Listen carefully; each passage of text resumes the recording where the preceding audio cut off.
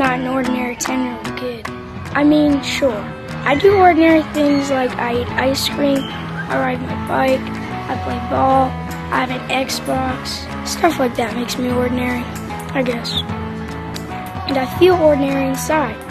But I know ordinary kids don't make other ordinary kids run away screaming in playgrounds. I know ordinary kids don't get stared at wherever they go.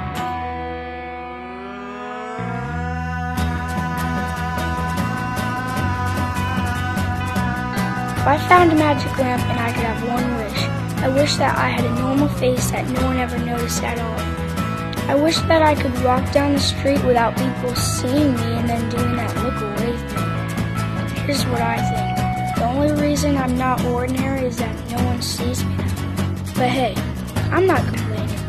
You can't exactly blend in when you were born to stand out.